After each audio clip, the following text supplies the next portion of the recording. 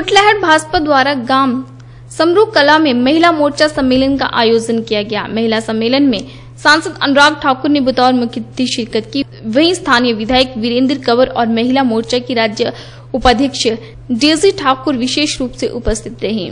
CM Virbhadra Singh द्वारा retire होने के बयान पर सांसद अनुराग ठाकुर ने कहा कि कांग्रेस की ऐसी क्या मजबूरी है कि भ्रष्ट नेतृत्व को लगातार ढो रही है। प्रदेश में विधानसभा चुनावों की आहट के साथ ही भाजपा ने सभी वर्गों को रिझाने के लिए अभियान छेड़ रखे हैं। युवा सम्मेलन और दलित स्वाभिमान सम्मेलन के बाद अब भाजपा ने महिला वोटरों तक पार्टी की नीतियाँ पहुँचाने का क्रम शुरू कर दिया है।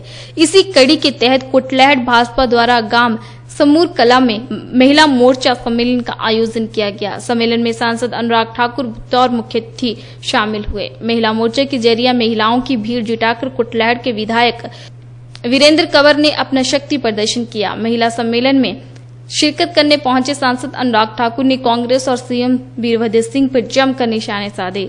अनुराग ने सीएम वीरभद्र द्वारा रिटायर्ड होने के बयान पर चुटकी लेते हुए कहा कि कांग्रेस की ऐसी क्या मजबूरी है कि ऐसे भ्रष्ट नेतृत्व का भार ढो रही है? अनुराग ठाकुर ने कहा कि प्रदेश में भ्रष्टाचार और माफिया राज के कारण विकास कार्य ठप होकर रह गए हैं।